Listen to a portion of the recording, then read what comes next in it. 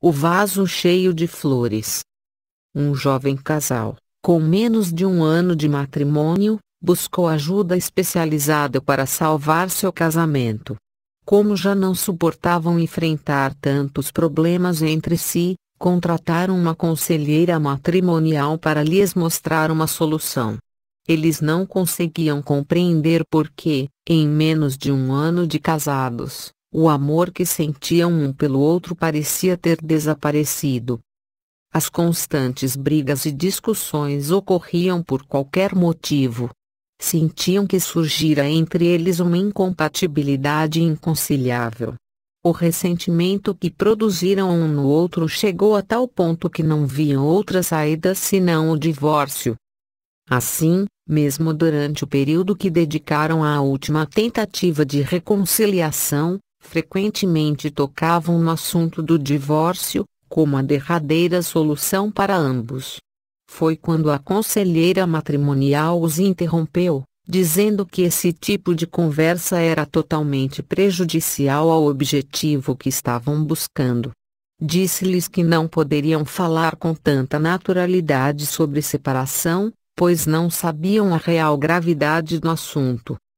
Então deu um buquê de rosas a cada um e colocou um vaso vazio sobre a mesa, propondo a seguinte atividade: o marido diria à esposa algo de que sentiria falta, caso se divorciassem, colocando uma rosa de seu próprio buquê dentro do vaso, depois, seria a vez da esposa, e assim por diante. Assim, ele começou dizendo que sentiria falta de acordar todos os dias ao seu lado, ela, por sua vez, lhe disse que sentiria falta do seu sorriso, e conforme iam declarando um para o outro as coisas de que sentiriam falta, lágrimas de arrependimento correram dos olhos de ambos. Por fim, o vaso de flores já estava cheio mesmo havendo rosas do lado de fora. Então se deram conta de que todas as vezes que mencionaram a possibilidade de se divorciarem, não sabiam do que estavam falando e o quanto iriam perder com a separação. A Bíblia diz que as más conversações corrompem os bons costumes e que devemos afastar de nós toda amargura. Por isso, precisamos atentar para não falar ao cônjuge palavras que o ofendem ou que contrariam a vontade de Deus. Efésios 4 e 29. O casamento foi criado por Deus por isso não devemos falar de assuntos como separação e divórcio levianamente. No mundo de hoje, isso é comum, mas aos olhos de Deus, não.